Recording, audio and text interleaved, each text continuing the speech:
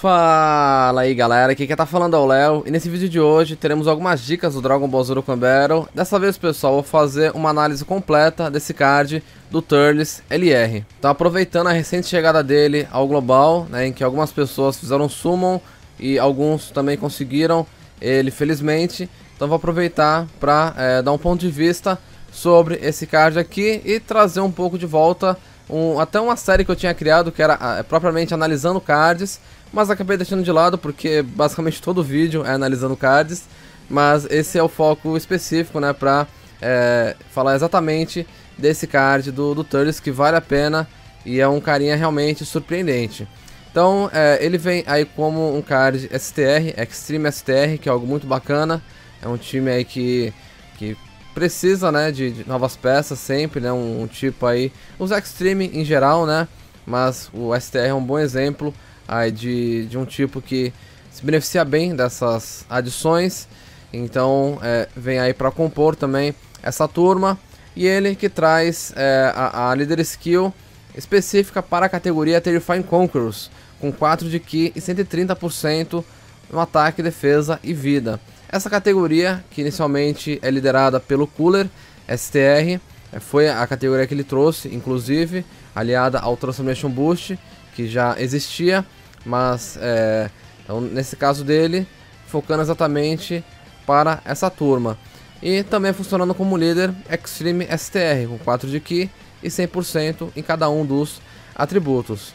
Já na parte do super ataque, ele tem o Colossal Damage com uma chance média de stun.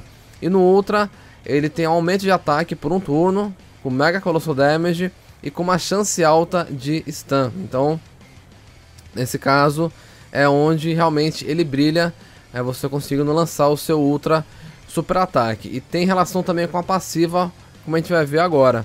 Uh, inicialmente ele recebe 130% de ataque e defesa, olha só, um valor bem bacana, principalmente para um card LR. Funciona como um belíssimo suporte para a galera Terrifying Conquerors, com 3 de Ki e 30% de ataque e defesa. Isso, óbvio, serve para ele também. Então, em resumo, ele tem 160% de ataque e defesa na passiva. E, além disso, ele ganha 6 de Ki e tem um ataque efetivo contra, contra todos os tipos quando o inimigo estiver stunado. Então, é, ele próprio pode fazer isso. Então, se eventualmente ele lançar um super ataque adicional, e o, o, no caso o primeiro já ter stunado o inimigo, esse segundo vai vir com todos esses benefícios dessa parte da passiva. E encerra tendo o ataque efetivo contra todos os tipos e uma chance alta de lançar um super ataque adicional quando o Ki estiver em 24, ou seja, no máximo. Então com isso ele recebe habilidades super importantes, porque ele vai atacar com efetividade e vai ter uma possibilidade bem interessante de lançar um outro super ataque. E é o que eu falei agora, é, um, o Ultra Super Ataque tem uma chance alta de stun. E aí, se porventura isso realmente ocorrer, nesse Super Ataque adicional, ele já vai vir com mais 6 de Ki e com o ataque é, efetivo contra todos os tipos também. Então, fica numa situação aí bem interessante para ele. E é um card que nos resume a isso, ele tem também uma Active Skill. E nesse caso, ela oferece 24 de Ki por um turno ou seja, garante a ele esse, esse ataque efetivo, né, por conta do, do seu Ki estar no máximo, e também gera a possibilidade dele lançar um super ataque adicional. Então isso que eu acho muito bacana, velho. Ah, alguns cards em que a Active Skill se relaciona diretamente com a passiva.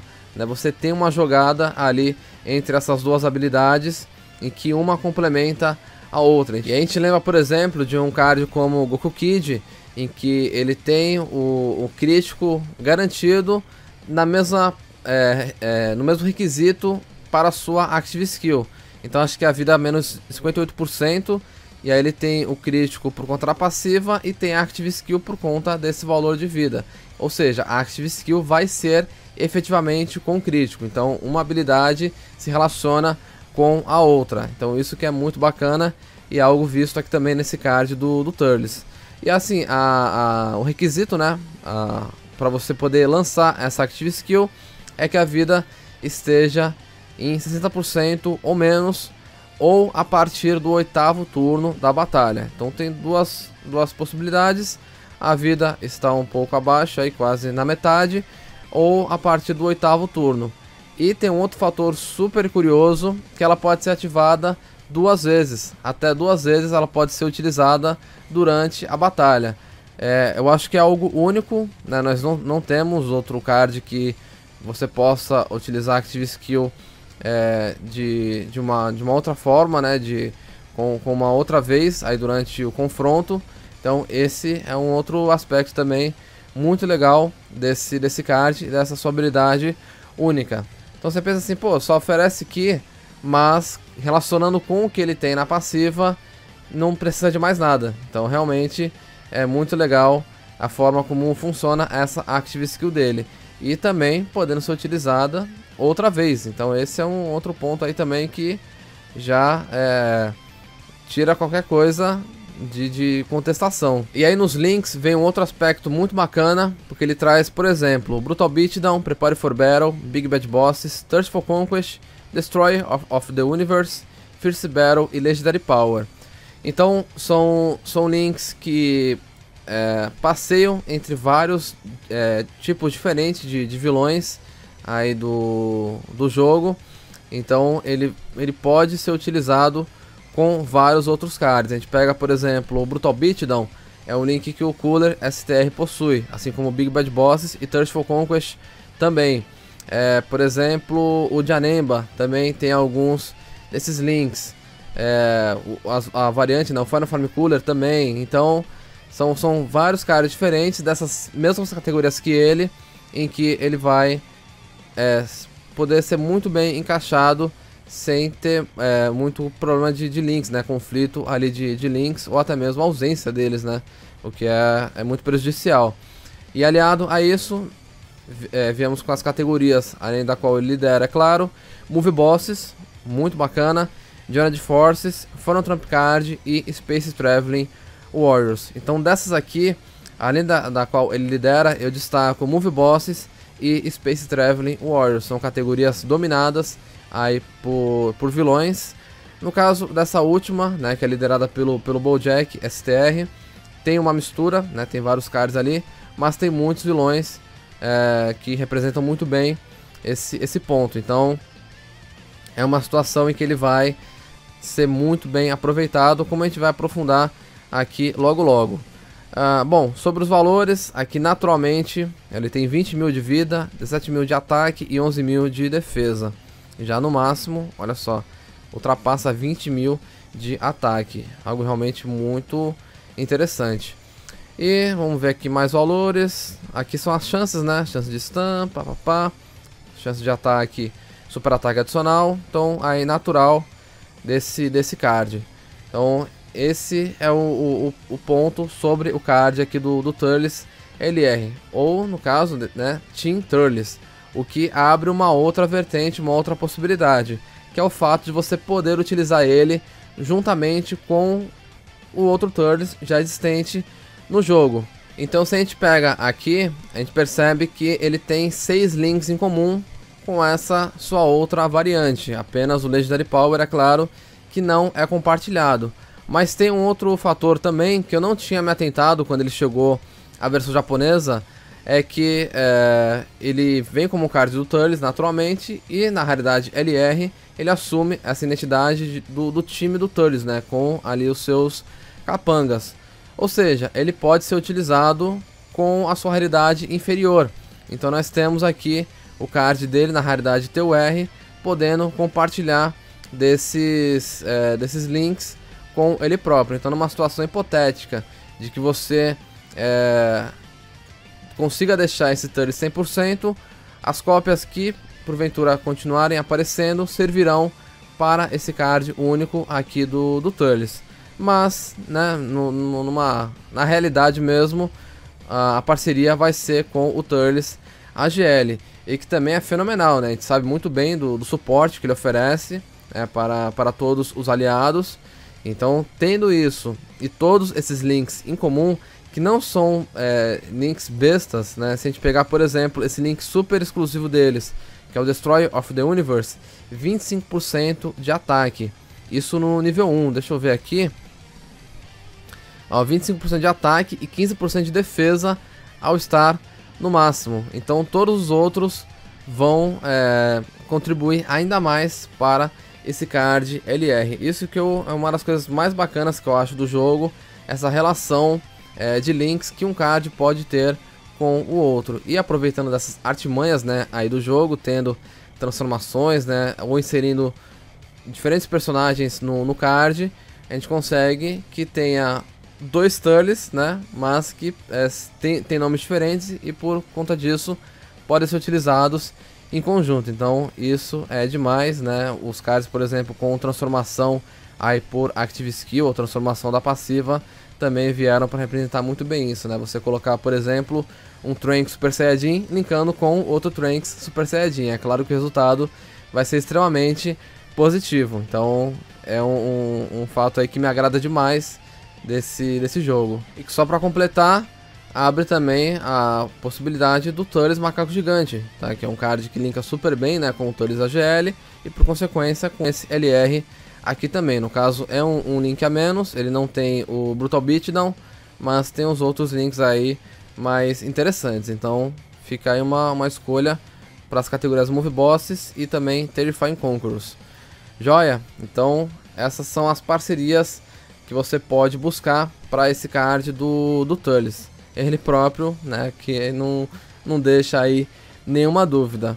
E sobre, né, eu falei sobre a questão das categorias, vamos aprofundar um pouco nisso. Então vamos pegar aqui o... começar pela própria categoria que ele lidera e depois a gente vai para essas outras. Então, olha só. Então tem o Cooler STR que eu falei, que é o próprio líder dessa categoria, então se você tiver ele, é esse card que você vai utilizar aí para liderar esse time. Uh, e aqui vem com vários outros LR diferentes tipos, né, diferentes vertentes aí e tal. É, e aqui o restante da turma realmente dominado por vilões, né? Que é o tema realmente dessa, dessa categoria. Então, é, ao você utilizar esse time, é interessante buscar ali um meio termo, né? Ou pelo menos é, ter parcerias certas, né? Pra, pra você não misturar tudo. Porque se você coloca é, esses caras diferentes, né? Por exemplo, o Bojack, você coloca o Freeza, né, você coloca o Baby, aí fica uma mistura, né? totalmente fora de, de, de, de rumo. Então é interessante você buscar um ponto central né, para poder utilizar de forma positiva esse time. Vai colocar um Freeza, então puxa ali os caras relacionados a ele, né? O Cooler, é, enfim, toda a, a, própria variante do, do Freeza. Então vai nesse, nesse caminho. Já o Move Bosses abre ainda mais possibilidades, né? Time aqui liderado principalmente pelo, pelo Broly aí do Dragon Ball Super. Então é, é um time que acho que tem mais a ver com ele, ele vai poder ser utilizado com mais tranquilidade. A gente tem, por exemplo, o, os outros Broly, né, que tem o Link Prepare for Battle, né, são caras ali é, então pode ser bem aproveitado nesse, nesse aspecto. Aí tem também, por exemplo, o Janemba, né, o Janembão, o Super Janemba. Tem alguns caras que são ótimos suportes, né, que tem aí pro Move Bosses o Metal Cooler, né, o próprio Cooler STR, que inclusive, né, só destacando aqui, ó, eles têm quatro links em comum. Então fica bacana aí também de você aproveitar essa, essa junção do, dos dois nesses diferentes times, que acaba sendo exatamente esses dois, essas duas categorias que eu citei e também o Final Trump Card. E aqui, só para completar, tem também o Space Traveling Warriors, também é uma categoria que tem bastante, bastante vilões. Você pode se aproveitar disso é, aí também. E um, um, outro aspecto, né, a gente viu que ele é um belo suporte da própria categoria. Então, os caras que forem é, relacionados a essa categoria, estiverem também em outras, né, como a gente vê aqui no Movie Bosses, muita gente está no Movie Bosses e está também no Terrifying Conquerors. Né, nós temos aqui os Freeza, os caras do, do Cooler, Bojack, é, enfim, essa, essa turma você pode aproveitar muito bem em outras categorias que eles também participam. Então você vai beneficiar a galera que, que é das duas categorias com um suporte aí realmente incrível, né? Fenomenal. Então esse é um aspecto também bem legal para você ter em mente na hora de utilizar nesse card e montar aí seu time. Tá joia? E é, completando com as outras categorias, tem Journey Forces, que sinceramente eu acho uma bagunça, tem tanto card, muito card LR, Eu acho muito difícil achar ali um meio termo nesse time. E também o Final Trump Card, que é uma categoria que tem também alguns, alguns vilões, mas acho que é majoritariamente é uma categoria do, dos heróis, né? Olha só, dos cards LR, a diferença que é, né? Discrepante demais. Mas também tem, tem alguns que podem ser aproveitados dessa forma, né? Já utilizei várias vezes o próprio Turles, o Cooler STR como suportes para essa categoria, né? Aproveitando ali, no caso do, do Cooler, da, da, das outras categorias, né? Dos cards principais, no caso Transformation Boost, né? Que é o suporte que ele oferece. Mas tem também essa, essa opção, essa possibilidade. Só que acho que fica um pouco mais fora de, de contexto aí pra ele. É melhor se ater as categorias aí realmente de, de vilões. Principalmente o próprio Terrifying Conquerors e também o Move Bosses, tá? Que é um coringa aí na questão do, dos vilões. Vários deles e de vários tipos acabam ingressando nessa categoria. Tá? Então é isso sobre esse card do, do Turles. Então se você conseguiu ele, parabéns, vai ter um ótimo aproveitamento desse card. E se não conseguiu, pelo menos você sabe do que ele é capaz, né, o que ele pode oferecer. Então acho que foi bem merecido. O card, né, um personagem teve seu próprio filme ali, né? Teve o seu, seu momento ali de, de vilão. Então tá representado aqui por esse card LR juntamente com a sua trupe. Legal? Então é isso. É um card que se você conseguir em qualquer momento que for, vai ser muito proveitoso, né? Vai ser realmente positivo aí e, e, vai te ajudar demais no prosseguimento do jogo. É um card que eu faria bom proveito sem sombra de dúvidas. Então vamos ficar de olho aí. Futuras Legendary Summon, é, outros banners aí, banners de steps, de, de outras oportunidades, é, banners diferentões assim de tickets, né, essas coisas, em que ele pode aparecer futuramente e de repente é pintar aí no seu, no seu summon e a alegria vai ser completa. Legal?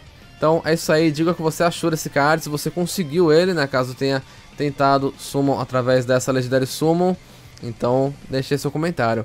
Mas por esse vídeo é só, vai ficando por aqui, espero que vocês tenham gostado, e se gostarem não se esqueça de deixar aquele gostei, e se inscrever se não for inscrito no canal. Então vou ficando por aqui, falou, e até a próxima.